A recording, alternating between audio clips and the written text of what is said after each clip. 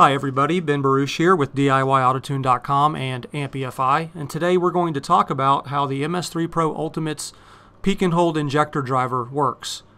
Uh, now this lesson will specifically use our MS3 Pro Ultimate, however, uh, the information should pertain to any other aftermarket performance computer, uh, to other factory computers that use peak and hold injector drivers, or to standalone driver boxes.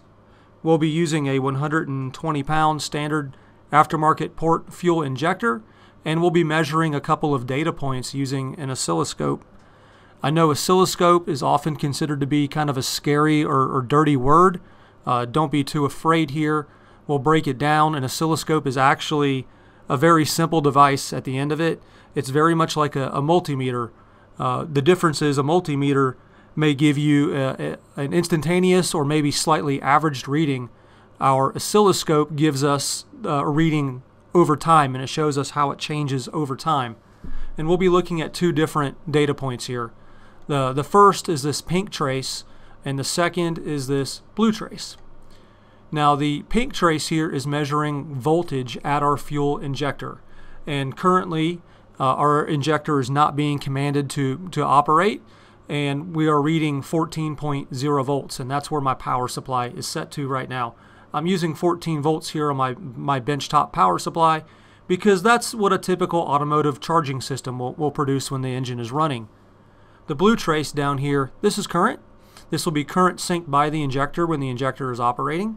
This current will be uh, monitored and controlled by our MS3 Pro, and, and, we'll take a look at that in just a minute. But right now, the injector is uh, not operating. It's not being commanded to open, and we are sitting at zero amps. So let's make something happen.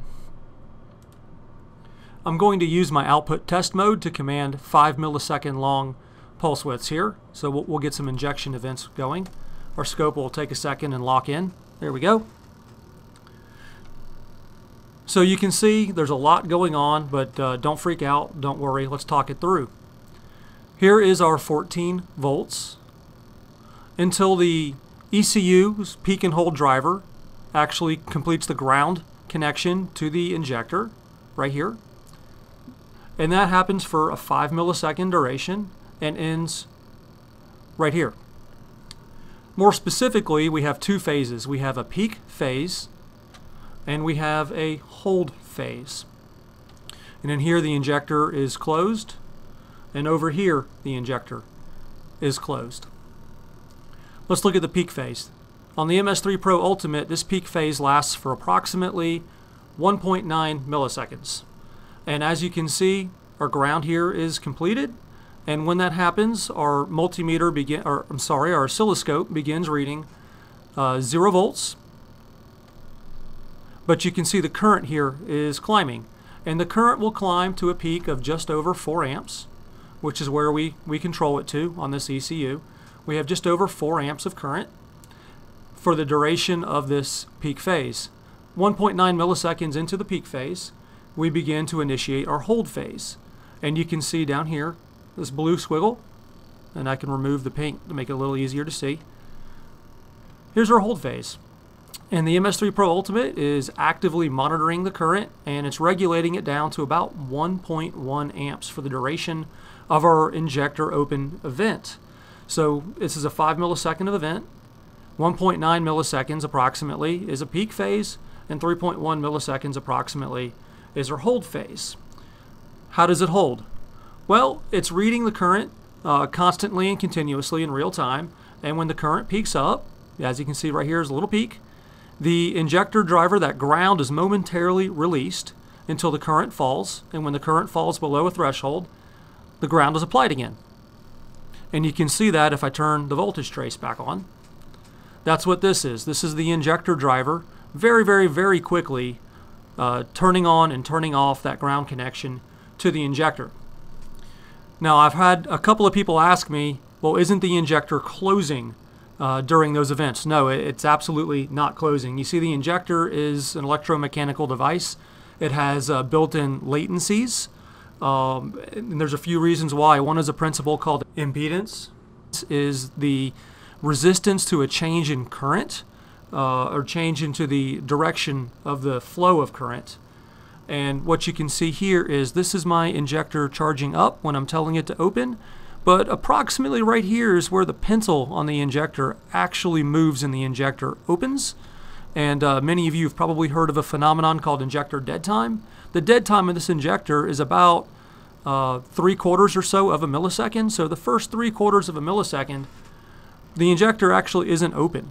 If you have a commanded pulse width to the injector that's three quarters of a millisecond or lower, the injector will not deliver any fuel. And there's a range in here where it may deliver kind of inconsistent fuel. But uh, what we're trying to do with this 1.9 millisecond peak is get that pintle open as quickly as possible and try to be consi as consistent as possible with our fuel delivery events. But the, uh, the injector is being regulated here, the current's being regulated here.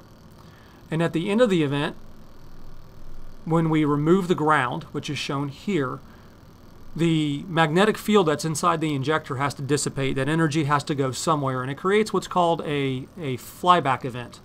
And on this ECU, our flyback is capped at about 30 volts.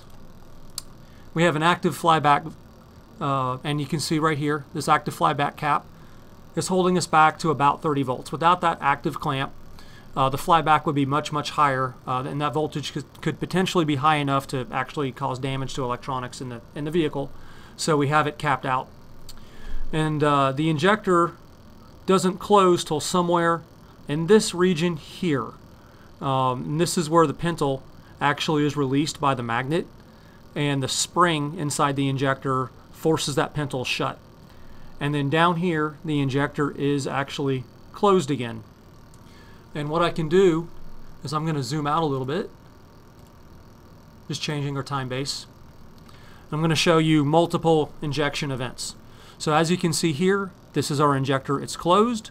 We have our peak event. It's uh, 1.9 milliseconds long. We have our uh, hold current event, about 3.1 milliseconds long. We have our short flyback event, and the injector is closed again, and the cycle repeats over and over and over. One other thing while I have you is I'm going to increase the pulse width of my injection event. So I'm no longer commanding 5 milliseconds, I'm commanding 15 milliseconds, just so you can see what happens as I increase the duty cycle. We have our injectors closed. We have our same 1.9 millisecond long uh, peak event, but now we have a substantially longer hold event. So it's a 15 millisecond long total duration. So we have about 13.1 milliseconds of hold, and then we have our flyback event, and the injector is closed again. I hope you found this somewhat entertaining, uh, hopefully maybe even a little bit more educational. If you have any questions, my name is Ben. Please reach out to me. I can be I can be emailed at support at ampefi.com. See you next time.